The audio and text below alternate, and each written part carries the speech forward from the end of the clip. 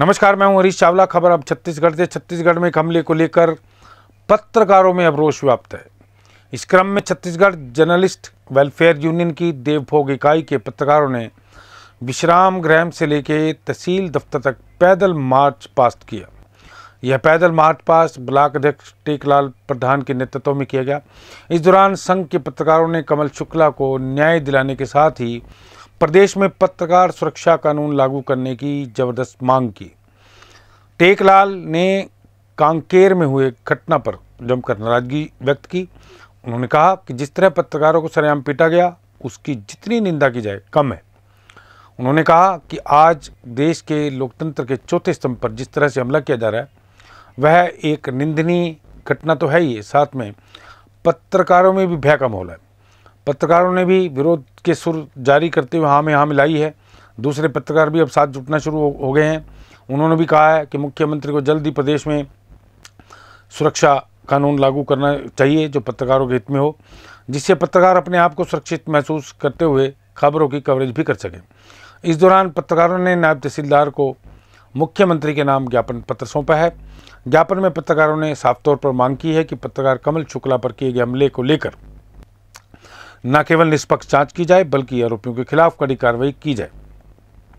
इस धरने में पत्रकार रवि तिवारी, आदित्य बेहरा, दीपक वैष्णव, महेश कुमार, नागेश, देशबंधु, निताम, आकाश, मनोज, सोनवानी समेत कई लोग मौजूद थे।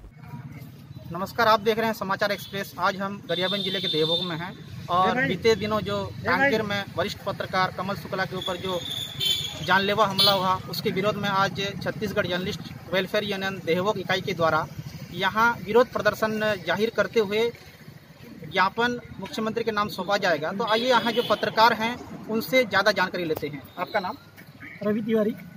तो हम आपको आपसे ये जानना चाहते हैं छत्तीसगढ़ में जो बीते दिनों से जो पत्रकारों के ऊपर हमला हो रहा है इस पर आप क्या कहना चाहेंगे? जी बिल्कुल निश्चित तौर पर मैं बता दूँ कि पत्रकारों के ऊपर जिस तरह से हमला हो रहा है ये कहीं ना कहीं लोकतंत्र के ऊपर सीधा हमला हो रहा है क्योंकि लोग पत्रकार लोकतंत्र का चौथा स्तंभ होता है। हाँ। और जिस तरह से कांकेर में जो पत्रकार के साथ जो घटना घटित हुई उसकी जितनी निंदा की जाए कम है।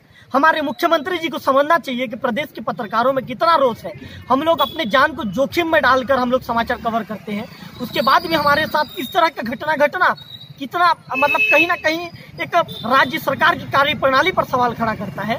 मैं हमारे जो मुख्यमंत्री जी हैं भूपेश बघेल जी उनसे यही उम्मीद करता हूँ। उनसे आ, आपके चैनल के माध्यम से ये बोलना चाहूँगा कि जल्द से जल्द छत्तीसगढ़ में पत्रकार सुरक्षा कानून लागू किया जाए ताकि पत्रकारों की सुरक्षा को लेकर सरकार कोई अपना दिशा निर्देश जारी करे ताकि ऐसे जो अमानवीय लोग हैं असामाजिक तत्व के लोग हैं पत्रकारों पर हमला ना कर पाए। आपका नाम? प्रधान तो आपको नहीं लगता कि पत्रकारों की जो सुरक्षा है वो सुनिश्चित होनी चाहिए? बिल्कुल सुनिश्चित होनी चाहिए। और सुनिश्चित नहीं होने का नतीजा है आज यही है कि लगातार पत्रकारों के ऊपर हमला किया जा रहा है कहीं जान से मारा जा रहा है कहीं गला रेतने की कोशिश की जा रही है। इसी का नतीजा है कि आज हमारे बीच हमारे कई पत्रकार साथी नहीं हैं। प्रदेश स्तर में कईयों की हत्या हो गई है जिनकी जाँच और दोषियों के खिलाफ भी अब तक कार्रवाई नहीं हो पाई है। यही वजह है कि आज जो कमल शुक्ला के ऊपर हमला हुआ है इसकी निंदा किया जा रहा है साथ ही भूपेश बघेल जी के नाम ज्ञापन सौंप कर दोषी के विरुद्ध न्यायिक जाँच कर कार्रवाई करने की मांग किया जा रहा है। आपका नाम? जी हमारा नाम ओम प्रकाश बघेल है। तो आज यहाँ जो धरना प्रदर्शन किया जा रहा है तो इसके उद्देश्य क्या है? इसका मुख्य उद्देश्य है कांकेर में हमारे एक पत्रकार साथी कमल शुक्ला पे जानलेवा हमला हुआ वो भी पुलिस के संरक्षण में।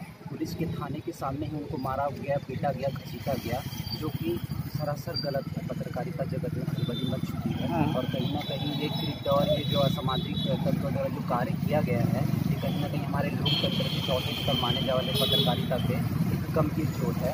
और हम आए दिन खतरों से खेल के अच्छे से अच्छे समाचार अच्छे से अच्छे जानकारी सबके सामने प्रस्तुत करते रहते हैं। यदि हमारा सुरक्षा नहीं होगा तो हम किस प्रकार से काम करेंगे? हमारे कार्य में काफ़ी जोखिम होते हैं। काफ़ी खतरे होते हैं तो उस जोखिम को उस खतरे को हम किस प्रकार लड़ पाएँगे और उसका सामना किस प्रकार कर पाएँगे? यदि पत्रकार सुरक्षा कानून लागू होता है तो हम इस प्रकार के जोखिम और जो हमारे ऊपर जानलेवा हमला हो रहा है हमको गाली गलोच किया जा रहा है मारपीट किया जा रहा है इस पर कहीं ना कहीं लगाम लगना चाहिए और इस पर अंकुश पूर्ण रूप से लगना चाहिए।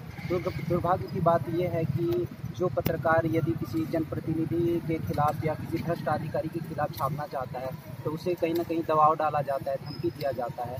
तो ये कब तक चलते रहेगा? अगर इस प्रकार का फिर चलते रहेगा हमारे समाज में जो जिम्मेदार अधिकारी हैं जनप्रतिनिधि हैं वो ही अगर इस प्रकार का कार्य करेंगे और असामाजिक तत्वों द्वारा पत्रकारों को पीटा जाएगा तो कहीं ना कहीं ये पत्रकारिता को कुचलने का एक साजिश है और एक रणनीति है ताकि पत्रकारों की आवाज़ दबाया जाए और गलत काम और भ्रष्टाचार को अधिक से अधिक मात्रा में किया जाए।